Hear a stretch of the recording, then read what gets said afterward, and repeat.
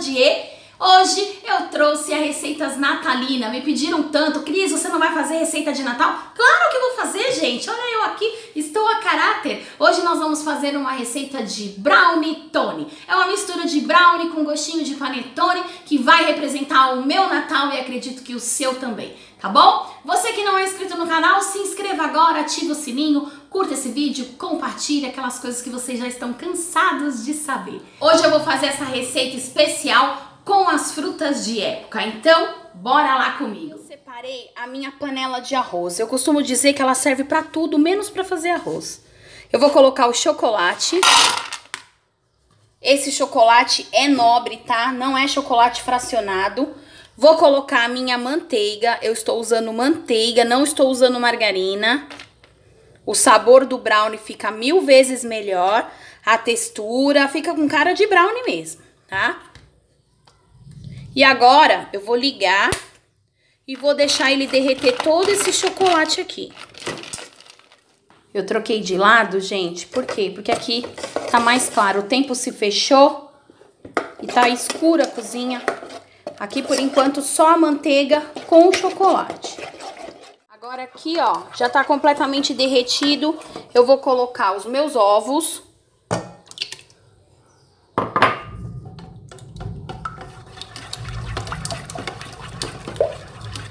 Nesse caso, eu vou usar o fouet, tá? Fácil pra misturar. Olha, já coloquei os ovos, já bati. Agora, eu venho com a minha essência de panetone. Vou colocar uma colher de sobremesa. Ó, panetone, tá? Vou colocar o meu açúcar mascavo. Você pode colocar açúcar cristal refinado ou o demerara, como eu tô colocando aqui. Venho com o meu cacau em pó, né? O meu chocolate 50%, eu tô utilizando esse daqui, tá? 50%. Mistura bem misturadinho. Agora a gente vem com a farinha de trigo.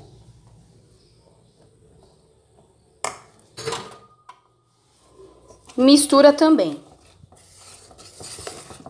Para finalizar, a gente vai colocar as frutas. Não coloca fermento, porque brownie não vai fermento, né? O brownie, na verdade, foi um bolo que ficou solado e acabou tendo o nome de brownie. Porque, na verdade, ele é muito gostoso, ó. E agora a gente vem com as frutinhas. Aqui eu tenho uva passa, damasco picadinho e nozes. Misturei bem misturadinho. E tá pronto.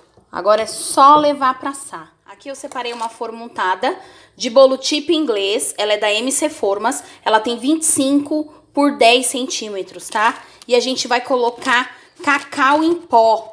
Nós vamos fazer com cacau em pó aqui, ó. Nós vamos encacauzar a nossa forma. Já passei a manteiga.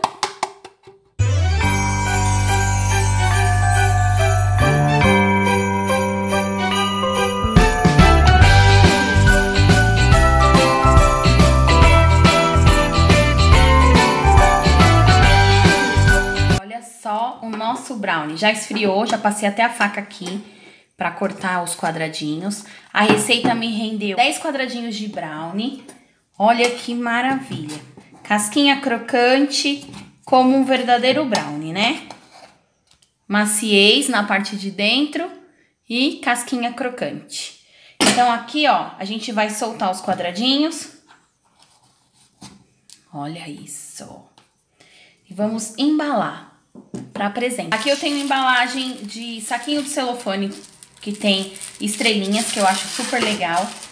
Também tem um só transparente, etiquetinhas de artesanal e essas tags lindas, maravilhosas que eu recebi da Dalane. A Dalane, ela trabalha com tags, etiquetas personalizadas com a sua marca. Ela faz qualquer tipo de tag que você quiser e ela envia para todo lugar do Brasil. E o frete dela é preço único, tá bom? É super em conta. Eu vou deixar aí o acesso para vocês na descrição do vídeo o Instagram da Dalane. Olha só, eu venho com... Primeiro eu vou colocar minha tagzinha, né? Eu vou utilizar um barbante para passar aqui. Vou escolher esse daqui, ó. Tem vários modelos, eu escolhi esse. Vou passar o barbantezinho aqui, só para amarrar. Vamos colocar minha fita. Escolhi uma fitinha vermelha também, que é super mimosa. E aqui eu venho com a minha tag por cima.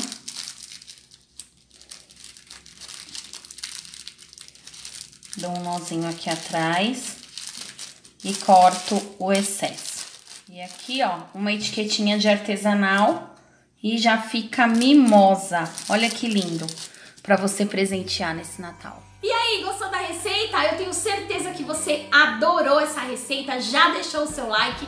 Mas antes da gente finalizar esse vídeo, eu quero desejar do fundo do meu coração um super feliz Natal para você, para sua família, para os seus amigos, para todos que te rodeiam, tá bom? Esse ano de 2018 foi um ano super especial para mim, muitas realizações tem as tristezas, mas ficam para trás. Que 2019 venha repleto de alegria, não só para mim como para vocês também, tá bom? Eu quero desejar do fundo do meu coração o que vocês desejam para mim em dobro para vocês. Um super beijo e até o próximo vídeo. Tchau!